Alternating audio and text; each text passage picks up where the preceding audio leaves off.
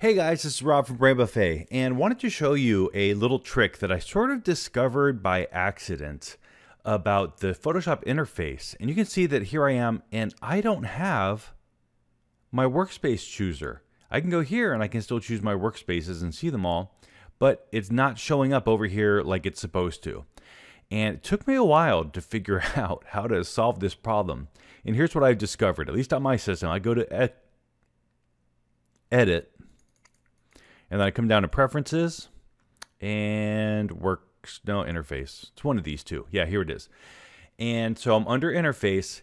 These settings seem to make Photoshop a little bit mad. And so I think that really if you just change this one, it solves the problem, UI scaling to 100%. When you do auto, it just gets grumpy. Uh, I also usually just bump my UI font size up to medium and tell it okay, and then close it. And now when I launch Photoshop again, hopefully I will have my workspace chooser back.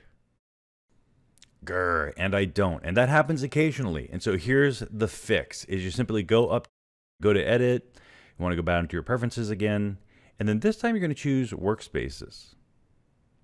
And I disabled this option here. And then I also always go back to my interface and just make sure that I've got my font size to medium and UI scaling to 100. But I close Photoshop, launch it again, and there it is. Solved my problem pretty much every time, although I panic every time it happens. So if you run into the problem, there's a solution.